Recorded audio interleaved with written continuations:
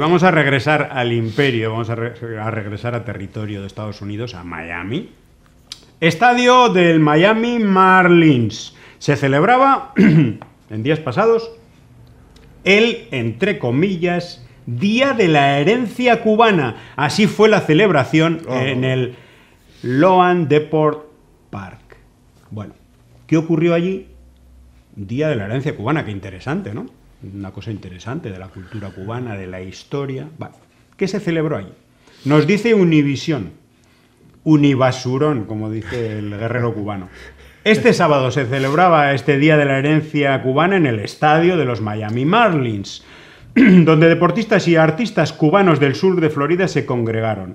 Esto con el objeto de festejar y dejar atrás la controversia ocurrida en el año 2023, cuando en aquel estadio, cuando se celebraba el partido de béisbol del Clásico Mundial entre Cuba y Estados Unidos, según estos, dice que el, Miami Marlins no dejaron entrar a personas que llevaban pancartas sob- sobre el régimen cubano.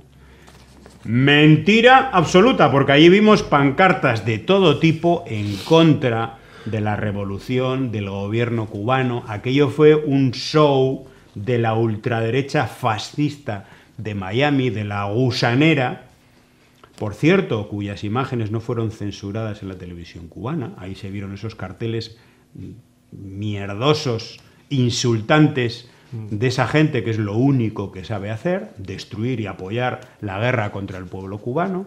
Bueno, pues el Marlins, el Miami Marlins, este equipo, claro, el hecho de que pusieran en alguna de las puertas algún problema a, esta gente para meter sus carteles, el hecho, bueno, pues que dejaran el estadio para un, para un partido en el que competía Cuba, pues le valió una campaña importante de presión y de boicot. El propio senador Marco Rubio, este criminal, pidió sancionar al equipo. Y claro, en Miami funcionan las cosas como lo, como lo, como lo que es, como una enorme mafia que te presiona, porque si no, porque si no te cortan la cabeza. Y en el caso de un equipo profesional de béisbol, pues te cortan el negocio. Y al final tienen que agachar la cabeza, tienen que doblar las rodillas y tienen que ceder el estadio para esta basura en la que eh, artistas vendidos también a este show, a este negocio, para seguir siendo multimillonarios, que nacieron en Cuba y cuyo único futuro musical en Miami es el de participar en la contrarrevolución, como León y Torres participaron. Tweet de El Necio dice, el cantante León y Torres cobra dinero por campaña política desde Miami, porque mucho dinerito ingresó con una camiseta que ponía Patria y Libertad Oigan en este encuentro. Otra vez el cantante León y Torres acepta dinero por un performance político anticubano. Esta vez en el, bueno, en el estadio de los Marlins, donde fueron agredidos en su momento, recordemos, agredidos los peloteros cubanos, sus hijos y esposas. ¿eh? Ante la presencia de la bandera de Estados Unidos izada en el estadio, el cantante de origen cubano dejó de ser cubano, esto lo digo yo, fue con- convocado a cantar el himno de Bayamo y luego de dejarse ver con este pullover eh, Patria y Libertad. Curiosamente dice, en Cuba nunca manifestó su posición política, recibiendo beneficios y espacios con los que se volvió un cantante internacional. Pero al llegar a Miami necesitó comenzar a abrirse puertas a través de acciones lamentables como esta. Bueno, ahí está la, bueno, individuos que, que no tienen una posición eh, sólida, firme eh, hacia el país que le vio nacer. Son apátridas, son contrarrevolucionarios y son personas en la cual eh, el dinero, la conciencia que tiene es el dinero. La conciencia es el dinero.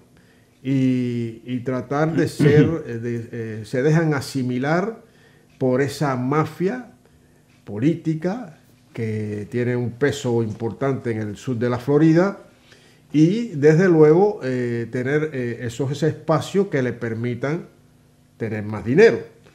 Es decir, que aquí no hay una posición ideológica eh, clara, lo que está es respaldando o haciendo caso servilmente a sus patrocinadores para poder estar insertado el mayor tiempo posible en ese negocio. El negocio de la contrarrevolución, el negocio de la infamia, de la mentira, de la manipulación contra Cuba y todo lo que sucede en Cuba. Como gentuza de zona, como de este bueno y todos los demás, todos cortados por el mismo patrón en Cuba. Sí, sí, pero el mismo patrón, José, pero hay una, hay una cosa que ninguno de ellos, es que no, yo digo, a no ser que sean redomadamente sinvergüenzas, malnacidos, para no darse cuenta, no darse cuenta eh, el, fondo de, la cuestión, o sea, la raíz de la cuestión. Ellos hablan de libertad.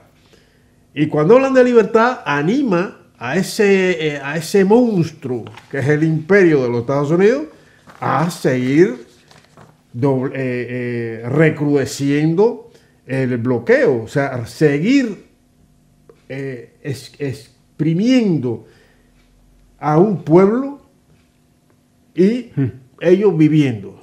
O sea, ellos viviendo y sirven a esos intereses, intereses hegemónicos, intereses de eh, neocoloniales.